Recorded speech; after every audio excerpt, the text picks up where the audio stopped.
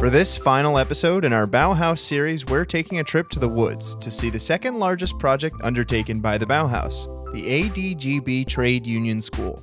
Located in Bernau, a densely wooded suburb on the outskirts of Berlin, the school was designed by Hannes Meyer, Bauhaus's second director after Walter Gropius. It was constructed between 1928 and 1930 as a training center for members of the trade union ADGB. The building, with facilities for education, accommodation, catering, and athletic training, has a zigzag shape, which is meant to reflect many of Bauhaus's key design philosophies, with a focus on functionality and a natural orientation to the surrounding landscape.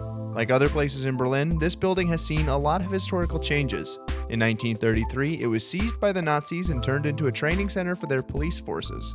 After the war, it was handed over to an East German trade union, the FDGB, and functioned as a school until just before reunification. Then, in 2001, extensive efforts began to restore the building to Hannes Meyer's original architecture, as well as turn it into a more modern educational facility. In 2017, it was officially recognized as a UNESCO World Heritage Site and continues to operate as a trade school to this day. Well, this concludes our video series celebrating the 100 year anniversary of Bauhaus. So if you're in Berlin this year and interested in Bauhaus, check out the places we've covered and much more.